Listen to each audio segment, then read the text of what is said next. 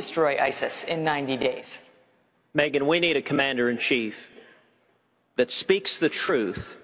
We will not defeat radical Islamic terrorism so long as we have a president unwilling to utter the words radical Islamic terrorism.